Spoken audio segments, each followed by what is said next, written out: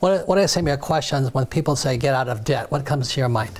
When people say get out of debt, I think about credit card debt, the student loan debt, um, all that negative debt that you, people use for shopping and personal things.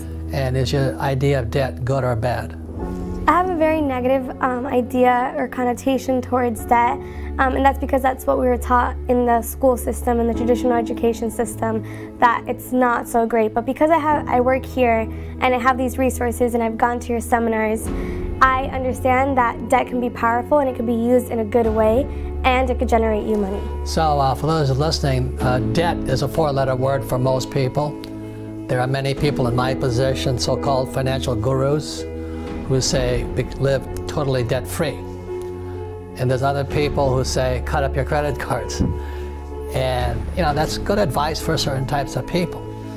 So you should definitely cut up your credit cards if you don't know, you can't control your spending. You should definitely. But I don't know how people live without credit cards. I don't know how you can check into a hotel, rent a car, or go shopping, go out for dinner, you know, so, but you should cut up your credit cards if you're a shopaholic. That's good advice. And the other thing about debt, there's good debt and bad debt. So this is going to be the lesson today is there's good debt and bad debt. And if you are only have bad debt, which I classify student loan debt as bad debt, the main reason it's bad debt is because it's the worst possible type of debt. You see, if I get into trouble as a businessman with debt, I can declare bankruptcy and I'm. But the trouble with student loan debt, you can't do that. You know, it hangs around your neck for the rest of your life. So if you're a student, you shouldn't take on student loan debt unless you absolutely 100% guaranteed that you will commit to graduating. So have you, have you seen a lot of kids drop out of school? Oh, yeah. And so the problem with student loan debt is a person has to know what are they going to study. You know, I have two friends, they're both medical doctors. And they came out of school with $500,000 in medical debt, I mean, in student loan debt. But they paid it off in five years because they're medical doctors. They had high paying jobs. And so they delayed having families and all this, and the whole objective was to pay for becoming a doctor. But I think you have friends who have no idea what they're going to school for. Yeah, so I have this friend and she's changed her major like three different times from business to now nursing and it's a lot of money and she still has no idea that what she wants to do. And she tells me she's like Alex I want to change my major from nursing but I'm already I'm already practically done and I can't pay back this debt. So she's stuck with the nursing career and she doesn't even like it. You know when I was your age like I, I think I said earlier is that my classmates were making like 110 120,000 a year which is not much money.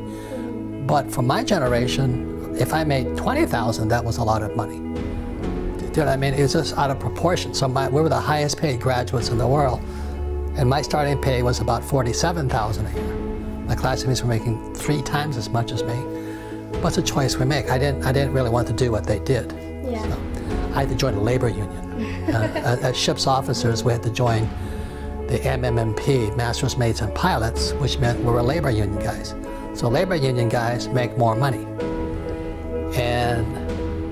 Nothing personal, but I don't want to be a union member. So I joined Standard Oil of California as a ship, shipping officer, and then I didn't have to join the labor union. But I only got 47000 a year. That was the difference. The difference is Standard Oil is still sailing, and a lot of those labor union jobs are gone because the pay got too high. Yeah. You know I mean? So there's always a good and bad, and it's hard to understand that when you're younger. But I knew when I was 22 years old, I didn't care if they paid me 100000 a year. I wasn't going to join a union. It was just principle. My father, poor dad, was head of the teachers union. And from what I saw, I didn't want to be a teacher and I didn't want to be a union member. So it was kind of youthful exuberance on things. Okay. but anyway, uh, today it's harder because you don't know what, what, what is this mysterious high-paying job. And even lawyers today are having a hard time because they don't need that many lawyers, which is a good thing. And there's artificial intelligence, which is replacing a lot of the high-end jobs. Like even accountants today, they don't need accountants because artificial intelligence can do a lot of the work for them. So that's why for your generation, student loan debt, I would say, is possibly one of the most important things you need to decide before you take on the debt. Number one, are you going to graduate? And number two, what are you going to graduate as? Right? Any comments on that? Anything you want to talk about? So my dream and passion has always been to be an entrepreneur. But when I started studying it, I told my dad it was the last thing I would ever do because I thought that what they were teaching me was what I was going to be doing on a day-to-day basis. But these teachers don't aren't actually practicing what they're teaching. And so they give you this wrong conception of what you're studying. And reality is that traditional education it's obsolete. What mattered back then does not apply to how you're going to run your business now. You know, today if I was in your position, you know, I was pretty clear when I was about 15, I wanted to sail the seas. Uh, I, I sailed huge ships, you know, throughout the world. But that was a dream of a kid. You know, and by the time I was 22, I was tired of it. I didn't, you know, I didn't want to sail the world anymore.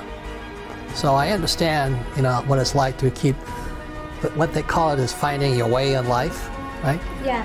That's not easy. Mm -hmm. So I commend you guys, and that's why we're doing the millennial money is because as these programs progress, you're going to find out, in my opinion, you guys have a harder road to go through than I did. For me, it was really easy. There was a lot of jobs, economy was booming and all this, and uh, it was easier. So you guys have got to be smarter. And debt is a two-edged sword out there. So you use debt, I use debt, but the more debt you use, actually you have to be smarter. So you can use debt to get richer. You can also use debt to wipe you out. So that's why you know, I continue on saying we need financial education. To just say to somebody, get out of debt, well, that's not accurate. You use debt, don't you? Debt is a great thing, and to be big and to be very successful, debt is a very useful weapon. Well, but you have to be very careful. That's correct. So, the other thing with when people say live below your means, you don't like to live below your means, do you? No. No. And I think when you say to somebody, live below your means, you wipe the spirit out. It's like saying somebody, if you want to lose weight, go on a starvation diet.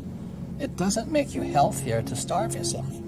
So I would rather get financially educated. That's why I read read your books because I want to. This is my greatest asset. I want to feed my brain so that I can expand my means without getting into excessive debt or where I start to lose. Because debt, like I say, is a two-edged sword. But telling somebody to live below your means is almost inhumane. I never felt good doing it. I wanted to strive to do better every day. I want to do better every day. I liked a good life. Like I tell the story of uh, taxiing underneath your jet. You know, I, I was in my jet, but it was a little Learjet. And I look up and there's a 727, and I taxi under it. I said, "Holy mackerel!" You know, it's it's big boys and their toys, but nonetheless, it inspired me. I said, okay, I'm in a Learjet now. It's time to step up. And it doesn't mean the jet will make me happier. What makes me happier is the wanting to get better, to get smarter, to do better. Well, I have a friend who was not successful at all, but was really up and coming. And he had a thing. He would only fly first class. I'm not saying do this because for somebody it right. won't work. But he needed that mentally. Right. He wanted to fly first class because mentally he wanted to think he was the best, and that's it. And even though he didn't have much money at the time, this is years ago, he would always fly. I used to criticize him, but it put him in a good state of mind, and he became a very, very successful guy. Yes. Very, very successful. Yes. And I, I've always remembered that. He would never fly coach. He would always fly first class, even though he didn't have the means to fly. So look, it's complicated, but whatever it takes to train right. that. Whatever makes you feel better about yourself, stronger, more confident, to want to do better. And I think really that's the issue. And we're at the stage of our lives right now. We, you know, to ask for more is not really it, but to do better, to feel better about ourselves is still important. It is very important. So that's why I don't like saying live below your means and scrimp and all that because, you know, shopping is fun nice, nice houses are fun. At the same time, you have to be very careful. Yes, but you have to be responsible about Correct. it. Correct. The hardest thing that I've witnessed over the last year is seeing people that were very hardworking and very conservative that invested in the stocks. And Right. I'm not talking about high flying stocks, I'm talking about very solid companies. And their net worth is 50% of what it was a year ago, and they haven't done anything wrong. Right. Now, they put their money in stocks, so I guess you could say that's wrong, but it's really not wrong No. because historically that's been okay. So they went into conservative stocks, and a year later they're worth 50%, and all they've done is worked. And that's the hardest thing I've seen. That's a tragedy. The thing that I want to say is this you can invest in gold and lose money. You can invest in real estate and lose money. You can lose stocks and lose money. You can invest in oil and lose money. You can also make a lot of money all those things. So, really, the reason we get together is because your financial intelligence, your financial IQ makes something valuable or not valuable. Like I said, you have to know a good investment from a bad investment, good advice from bad advice.